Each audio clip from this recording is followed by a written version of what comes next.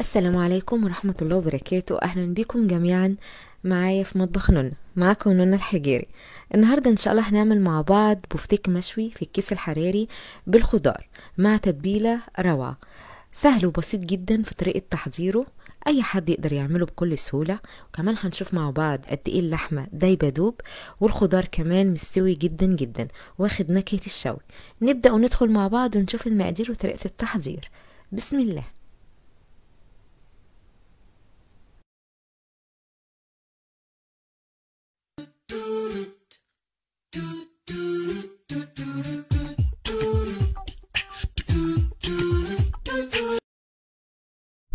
نبدأ نحضر التتبيلة. جبت البولة وهنزل فيها بأول حاجة معلقتين كبار من الزيت.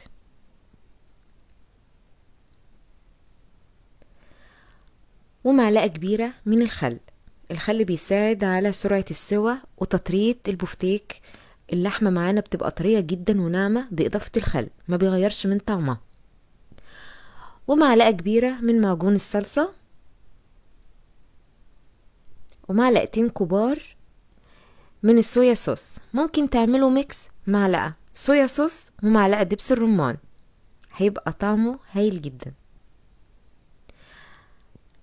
معلقة صغيرة من الملح ومعلقة صغيرة من الفلفل الأسود.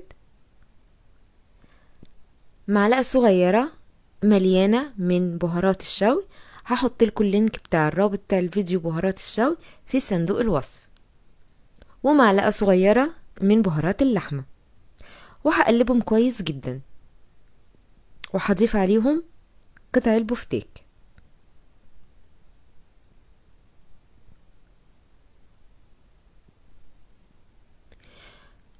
ممكن إضافة ربع كوباية من مية البصل أو بصلة صغيرة مبشورة ناعم. هضيف قطع اللحمة وهقلبها كويس جدا في التتبيلة. وهسيبها لمدة ساعة أو ساعتين على الأقل. معايا هنا الخضار اللي هستخدمه مع البفتيك ومعايا كمان بصل مقطعة شرايح وفلفل رومي أو فلفل حراق أو فلفل ألوان. الخضار أي نوع خضار حابين تشووه مع اللحمة. جبت الكيس الحراري وهبدأ أرص فيه قطع البفتيك تكون مفرودة. بحاول بقدر الإمكان إن أنا أفردها ما تبقاش متنية على بعض لأن هي هتاخد وضعها في السوا. فلما أخرجها تبقى سهلة معايا ومفرودة القطعة بقطعتها. وبعد كده بضيف عليها الخضار اللي استخدمته. بصل وفلفل أخضر وكمان بطاطس وكوسة وجزر. وبعد كده بضيف باقي التتبيلة اللي بقت معايا في البولة وبقفل الكيس الحراري عليها زي ما إحنا شايفين.